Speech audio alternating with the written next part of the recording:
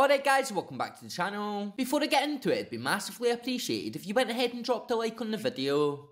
Cheers. So Rangers boss Giovanni Van Bronckhorst is set for a busy few months working alongside Ross Wilson in what will be his first summer transfer window in charge in Glasgow. And with deals already announced for the likes of Connor Goldson, Steven Davis and obviously the pre-signing of John Souttar from Hearts in January, we will definitely see a few more lads brought in as pre-season gets ever closer. And with the departures already for the likes of Cedric Itten this week, we will more than likely see more players leave the club as time goes on. So Gio joined the club after the end of last summer's transfer window and was backed by the club in January with Aaron Ramsey, Amad Diallo and James Sands all coming into the squad.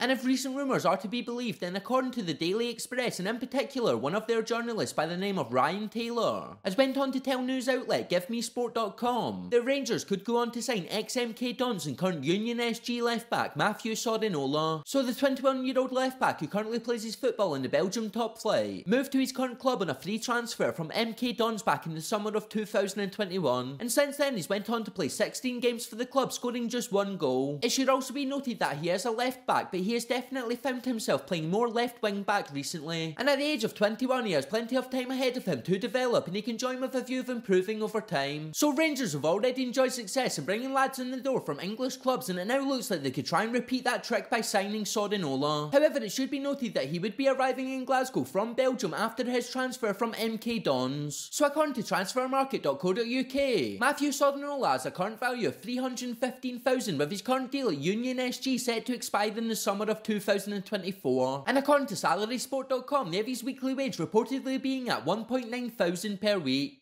So what do you guys think then? I personally don't think we need another main left back this summer, and I think Calvin Bassey could be the man the club need. However, I do think we could see another left back come into the club this window. Obviously, we are quite packed in the centre back area, and like I said, I do think we will see Calvin Bassey play left back next season, and Borna Barisic dropping into a more rotational role if needed. I'm then not overly sure if the club needs a player like Borna Barisic for that, but I honestly can't see Bassey being dropped next season with how well he's done till now. Obviously, Bassey is a left back on paper who can do a great job in the middle, but I also think he's been without playing his natural position now for quite some time, and if we can get him back playing his natural position, then he'll only get better at that as well, while also providing cover at centre back if that's needed. So if Calvin Bassey does move to left back, then like I just said, I'm not too sure what will happen to Borna Barisic, and I reckon we could actually see him leave and we could bring somebody into the club like Matthew Sorinola, who will go on to play more of a cover role to Calvin Bassey and push him to get better. So personally, I could see this happening or something very similar soon. But let me know what you guys think down in the comments and subscribe for daily videos.